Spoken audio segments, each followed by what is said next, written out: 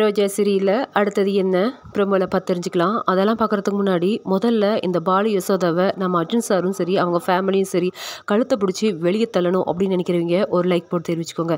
இவங்கனால தான் குடும்பமே இப்போ ரெண்டாக உடைய போகுது ஒரு சொத்து பிரச்சனையினால் வீட்டில் எல்லாருமே சந்தோஷமாக தான் ஒரு விஷயத்த பேசி ஒரு முடிவுக்கு வருவாங்க. ஏதோ நம்ம பிரதாப் அப்பாவும் சரி கல்பனமாவும் சரி நம்ம ரோஜா மேலே அளவு கடந்த அன்பும் பாசமும் இருக்கிறதுனாலையும் அவங்க ரொம்பவே வந்து வாழ்க்கையில் கஷ்டப்பட்டதுனாலையும் நம்ம அர்ஜுன் சார் இத்தனை வருஷமாக கல்யாணமே வேண்டான்னு சொல்லிட்டு இருந்த அவரை கல்யாணம் பண்ணி இப்போ அவங்களுடைய வாரிசை சுமந்துட்டு இருக்கிறதுனால இதுக்கு நல்லபடியாக நம்ம நல்லது பண்ணியாகணும் அப்படின்னு நினச்சி தான் இந்த முடிவுக்கு எடுத்திருக்காங்க.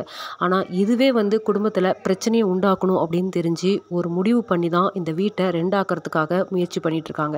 ஸோ இதுக்காக வீட்டில் ஒரு பெரிய பிரச்சனை நடந்தாலும் அன்னபூர்ணி பாட்டியும் நம்ம பூஜாவை அவ்வளவோ பேசுறது கொஞ்சம் கஷ்டத்தை தான் கொடுத்துட்ருக்கு ஓரளவுக்கு நம்ம பூஜாவை அனுசரித்து போயிருக்கலாம். எப்போவுமே ரவுடி பேபி அப்படின்னு சொல்லி அவ்வளோ அழகாக பேசி நம்ம பூஜாவையும் நம்ம அன்னபூர்ணி பாட்டி ரசித்து தான் பேசிகிட்டு இருப்பாங்க ஏதோ இன்னும் இத்தனை வருஷம் ஆகி கூட இந்த வீட்டில் இருந்து யாராருக்கு என்ன பிடிக்கும் அப்படிங்கிறதும் தெரியாமல் இன்னும் விளையாட்டு போனாவே இருக்காளே அப்படின்னு நினச்சி கூட நம்ம பாட்டி திட்டி இருந்திருக்கலாம். ஆனால் ஏதோ ஒரு சொத்து பிரச்சனைனால எல்லாம் பேசுகிறது எல்லாமே நம்ம பூஜாவுக்கு எதிராக இருக்கிற மாதிரியும் இந்த விஷயத்தில் இல்லை எல்லா விஷயத்துலையுமே என்னை ஒதுக்க ஆரம்பிச்சிருக்கிறீங்க. இந்த வீட்டில் நானும் ஒரு மருமக தான். எனக்கு எந்த ரைட்ஸும் இல்லையா? எல்லாமே ரோஜாக்காக்கே கொடுத்துட்ருக்கீங்க அப்படிங்கிற மாதிரியும் அதிகாரமாகவும் கேட்க ஆரம்பிச்சிட்டாங்க. எல்லாமே ஓப்பனாக கேட்டுட்டோம் அப்படின்னு சொன்னால் எந்த பிரச்சனையும் வராது அப்படின்னு சொல்லியும் அவங்க எல்லா விஷயத்தையும் அப்படி தான் பட்டுன்னு கேட்பாங்க. அதே மாதிரி தான் இந்த விஷயத்தையும் கேட்டிருக்காங்க.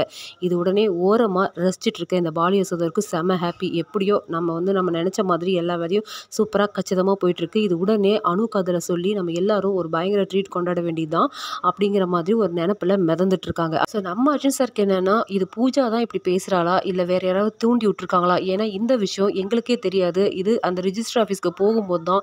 அம்மாவும் அப்பாவும் சொன்னதுக்கப்புறம் தான் எங்களுக்கு இதுவே புரியும். நாங்கள் அப்பவும் வேண்டான்னு தான் சொன்னோம்.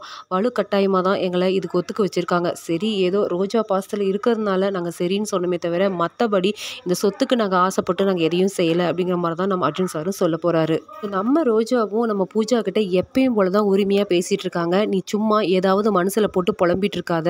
இதெல்லாம் ஒரு பெருசியாக பெரிய விஷயமாகவும் நீ எடுத்துக்காத. வீட்டில் நடக்கிறது எல்லாமே நல்லதுக்கு தான். சொத்து கிடைச்சதுனால எனக்கு இதை பற்றி சம்மந்தமும் இல்லை. அவங்க அவங்க ஏதோ ஆசைப்பட்டு கொடுத்ததை நான் ஏற்றுக்கிட்டேனே தவிர மற்றபடி இது வந்து எந்த ஒரு மனசில் வச்சுட்டும் எனக்கு அத்தமமாக எழுதி வைக்கல அப்படிங்கிற மாதிரி தான் சொல்லி புரிய வைக்க போகிறாங்க ஆனால் அந்த இடத்துல ஏதோ கை தவறலாக நம்ம பேசிகிட்டு இருக்கும்போது ரோஜா அந்த இடத்துல போய் கீழே விழுறதுக்கு போயிடுறாங்க நம்ம பூஜா. அவங்கள வந்து கை தாங்கி பிடிச்ச நம்ம அஸ்வினுக்கு பயங்கர கோவம் வந்துடுச்சு.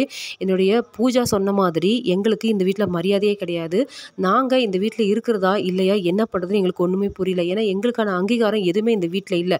பூஜா சொல்லும்போது கூட நான் ஏதோ அப்படின்னு சொல்லி விட்டுட்டேன். ஆனால் இது வந்து இவ்வளோ பிரச்சனையில் போய் எனக்கு முடியும்னு எனக்கு தோணவே இல்லை.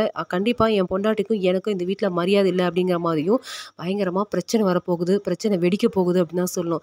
இதை வந்து நம்ம அஸ்வினும் நம்ம ரோஜாவும் அர்ஜுன் சாரும் சொன்னதை கேட்டு புரிஞ்சுக்க போகிறாரா இல்லை அன்னபூர்ணி பாட்டிக்கிட்ட மல்லு கட்டிட்டு நிற்க போகிறாங்களா அப்படிங்கிறதான் ஒரு பெரிய ட்விஸ்ட்டு இந்த விஷயம் எப்படிடா இவளுக்கு தெரிஞ்சிருக்கு? நம்ம யாருக்கும் தெரியாமல் தான் இந்த முடிவு எடுத்தோம். இது நல்லபடியாக முடிச்சதுக்கப்புறம் வீட்டில் எல்லாத்துக்கிட்டையும் நல்ல விஷயமா சொல்லி ஷேர் பண்ணணும் அவங்களும் நினச்சிருந்தாங்க. அதுக்கு முன்னாடியே இவங்களுக்கு தெரிய வந்து பெரிய பிரச்சனை பண்ணுறாங்க அப்படின்னு சொன்னால் வீட்டில் இருக்க இந்த பாலியோ சதனால் மட்டும்தான் முடியும். ஸோ கண்டிப்பாக இவங்க மேலே திசை திருப்பு தான் போகுது. என்ன நடக்க போகுது? வெயிட் பண்ணி பார்க்கலாம். சப்ஸ்கிரைப் பண்ணிக்கோங்க.